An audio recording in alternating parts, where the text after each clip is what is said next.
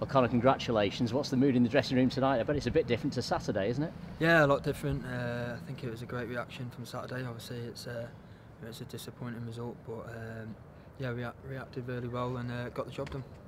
I would never begrudge Liam Hogan a Man of the Match award, but how on earth have you not won it tonight? we all had a sip in uh, in there today. Um, no, um, look, everyone done the job today. Uh, I thought everyone was very good.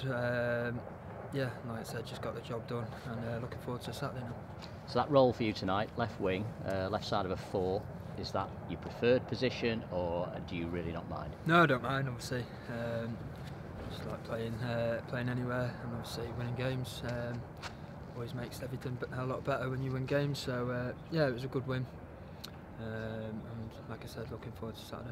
From a personal point of view, again, you found the back of the net tonight and the flag goes up. I mean, what, what, do you have to do to get a goal? Yeah, I blame Reedy for that. Took too long. Yeah. Um, no, it's a shame. Um, getting a few other chances. Uh, obviously, it's not happening at the moment, but uh, keep working hard and I'm sure it'll come.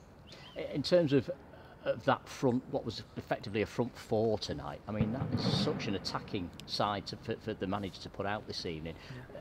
Did, were you excited when you saw that lineup today? Yeah, obviously there a lot of talent there, um, a lot of hard work, and uh, obviously there's a lot of injuries as well. So mm. uh, yeah, there's a lot of uh, competition, which is which is fantastic, and what you need to you know to get do really well in the league and in the cups. So uh, yeah, it was good. I mean, looking at your pedigree, Rochdale away is a, a, kind of common fixture for you through your career, that sort of fixture. But for the lads here, I mean, that is really one to be excited about now on Saturday, isn't it? Yeah, of course, uh, and it's FA Cup. Uh, you know, everyone loves a FA Cup. It's just shame the fans yeah. fans aren't, aren't uh, in for it because it's a nice sort of local derby. Um, but yeah, FA Cup. You know, if we uh, apply ourselves with that attitude like we did today, and then uh, anything can happen. It's a massive turnaround. Uh, the performance, the mood, everything seems to have changed today, tonight, for, for, from what happened on Saturday against Weymouth. Is there anything you can put your finger on? Is there anything that's that's changed within the camp? No, uh, you know, you've got to react. Um, you can either sort of sulk or react badly, or you can, um, you know, roll your sleeves up and uh, react in a really positive manner. And I thought that's what we've done today.